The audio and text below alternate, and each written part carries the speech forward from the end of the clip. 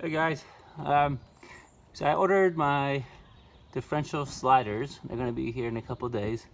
And today's a beautiful Saturday and I had nothing to do. So I was trying to find a project to do. So I figured I'm gonna paint uh, the differential covers with the metallic blue, I think, or red. Um, I already did that to my shocks when I first got it, and the red really turned out great. Um, but since I ordered the Rancho sliders that are going to be red, um, and of course the red's not going to match the anodized red, so I'm thinking I might do blue. Um, that way it matches some of the other blue accents that's on the car. So, we got the Jeep on the lift. It's on the jack stands. I'm gonna clean it up and then we'll go through the process. Tell me pretty lies, look me in the face, tell me that you love me, even if it's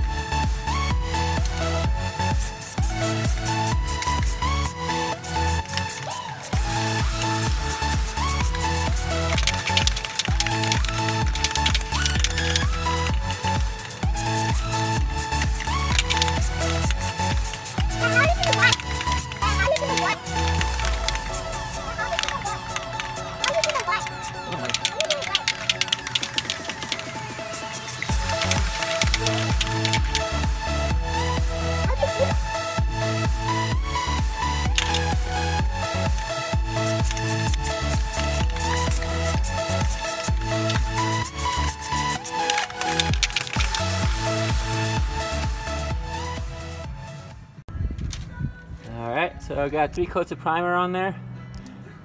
And it's been about 10 minutes since my third coat, so it's ready for chrome. So now we're gonna do two or three coats of chrome.